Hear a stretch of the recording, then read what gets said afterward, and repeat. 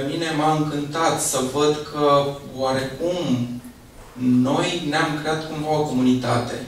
Uh, din nimic, pentru că nu, nu exista uh, acest scop de la bun început. Uh, doar ne-am regăsit în această pasiune comună, atâta tot. Poate unii dintre voi sunt mai încântați de călătorii, poate unii strict fotografie, fie, nu știu, fashion, poate să fie orice, orice pasiunea voastră. Eu nu le văd doar ca pe niște nișe și atât, pentru că mulți dintre noi uh, cam asta fac în viața de zi cu zi. Uh, au și 5 minute de fashion, au și 5 minute de travel în care se gândesc la următoarea destinație. Adică mm, e pur și simplu o, uh, o viață normală. Asta, asta încerc eu să transmit pe, pe Instagram, asta uh, urmăresc și eu la rândul meu și văd foarte mulți dintre voi care uh, reușesc să, să comunice în felul ăsta. Reușesc să strângă în jurul lor oameni care uh, fac ceva frumos în paralel cu jobul lor, nu se rezumă doar la atât, sau pur și simplu caută, uh, nu știu, puțină relaxare sau puțină inspirație în, uh, în a face altceva, în a face mai mult decât uh, să mergi acasă și te uiți la televizor. Nu se mai uită nimeni la televizor, așa că ce ne rămâne de făcut decât să facem conținut pentru, pentru online. Vreau să te întreb, să știi că 80% din întrebările care ți s-au adresat ție erau legate de cum creștem un cont de Instagram. Ok.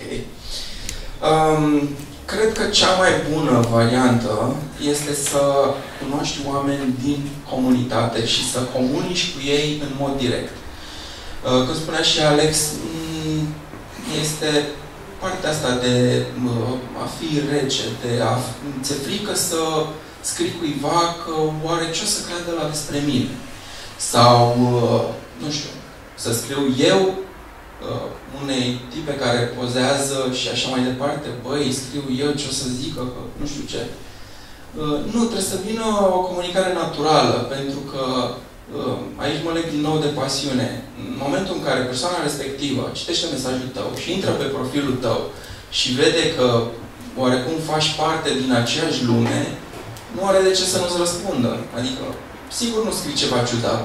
N-ai de ce să-ți fie teamă sau să ai reticență să ceri sfaturi, să pui întrebări, să ai curiozități. E perfect normal să, să deschizi comunicarea asta directă. Uh, cam, cam de aici văd eu că pleacă, uh, că pleacă interacțiunea în comunitate.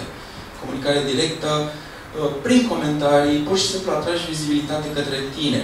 Pentru că poate îți place ce face X și Y, dar uh, nu știi cum să începi sau ce anume să uh, faci tu, ce să aduci tu diferit. Atragi vizibilitate către tine și pe urmă începi să pui întrebări și îți dai seama singur cam ce ar trebui să schimbi la tine. Bineînțeles că aici depinde de personalitatea fiecăruia, pentru că uh, chiar mă gândeam în timp ce vorbea Alex cât de multe chestii facem oarecum la fel, dar personalitățile fiind atât de diferite, se văd, uh, conținutul iese total diferit.